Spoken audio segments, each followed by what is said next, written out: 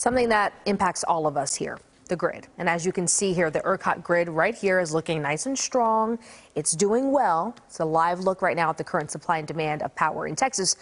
But the question we always have is will the grid be able to hold up and look like this when our temperatures are higher?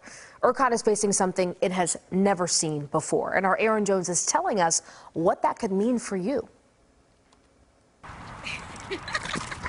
Already it's getting hot, but Brittany Darnell says come July and August. Brutal. it gets really hot in the summertime. So if I didn't have my AC, I would definitely be impacted just because, you know, with summers here in Texas or here in uh, Dallas, they can get up to like, you know, the upper hundreds. But now the Public Utility Commission of Texas and ERCOT are warning about the tight power grid conditions this summer. The Texas grid faces a new reality.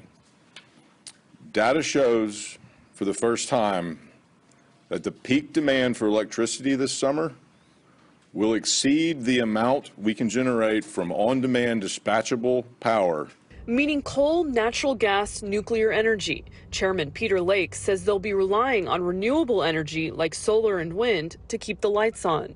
From 2008 to 2022, Texas on-demand dispatchable power supply grew only 1.5 percent.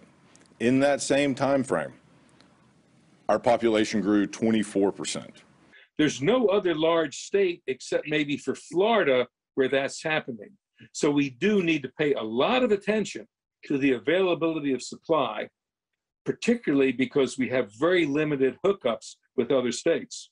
But energy economist Bud Weinstein says the good news is that we should be able to get through the summer without any serious disruptions. Yeah, I'm just hoping for the best and hoping that, you know, it won't be as brutal.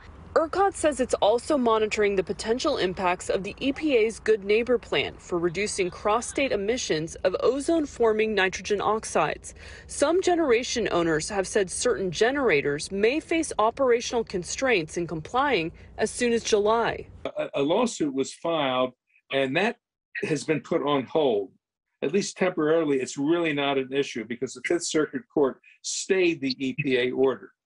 And this summer, 8 to 10 p.m. are expected to be the most at risk hours after we lose solar generation, ERCOT relying on wind generation, which could be a risk. Aaron Jones, CBS News, Texas.